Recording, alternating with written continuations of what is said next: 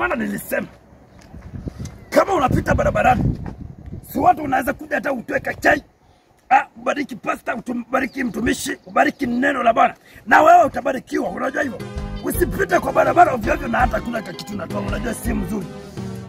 Oh yes, na ndio nasema watu wa Githurai, watu wa Githurai nawaambia vizuri, muokoke, muokoke. Kijana, habari yako?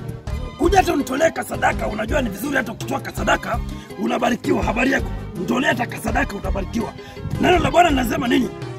Peana kile kidogo alafu ubarikiwe. Asante sana. Yes, habari. Asante. Hata ndio tulisema hata CBC ile ambayo imeletwa ile isaidii. Haya ni maneno gani? Kuna kashifu maneno kama haya. Wewe kijana, CBC ndio imekulewesha na tulisema na tukakataa. CBC imeshindwa, ndio CBC sasa imeharibu wanafunzi, tunaikemea katika jina la Yesu. Kijana wewe, kichwako ni mzuri wewe?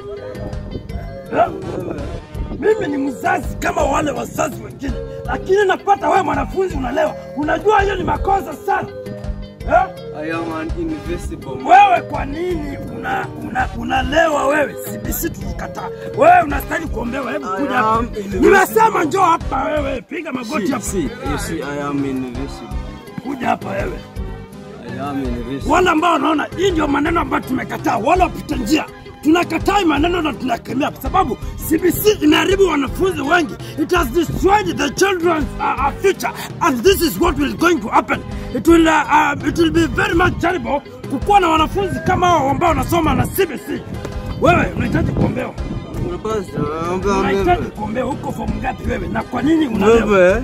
Niko form 3 na nilikuwa nafanya practical. Ngoja, unahitaji kuombewa na. Chemistry.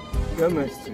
Unahitaji kuombewa Tulikuwa tunasoma Nimesema unahitaji kuombewa, kuja hapa, simama hapa mbele yangu. Basta. Tulikuwa tunasoma ile kitu ambayo inaitwaga ethanol formation. Ethanol formation, CBC tunakataa Alcohol concept Kijana wewe, kuja hapa. Nenda Nimesema piga magoti hapa nikuombee wewe.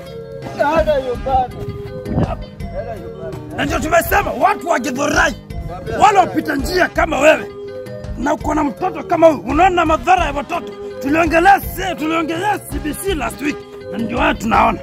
Wewe kuja hapa hmm? Hebu kidogo, saa zingine lazima tuchunguze hawa na Oh, pora mimi unanipona. Hebu niangalie mimi, wewe. Unanipona. Enda huko.